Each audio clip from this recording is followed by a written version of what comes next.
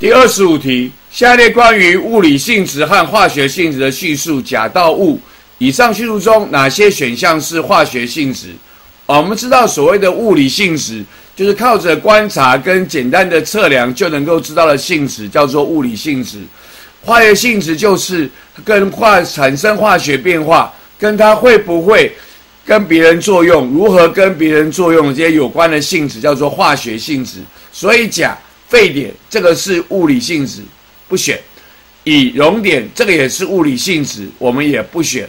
助燃性就是可以帮助燃烧，燃烧是个化学变化，所以是化学性质，我们要选。可燃性就是可不可以燃烧，燃烧是个化学变化，所以这个也是化学性质，这个要选。物是密度，那么就是。体积跟质量的比，所以这个也是物理性质，所以这个我们也不选。所以呢，化学性质呢就是丙跟丁，助燃性跟可燃性。所以第二十五题问我们说，关于物理性质跟化学性质的叙述，哪些选项是化学性质？我们答案选 C，仅丙丁。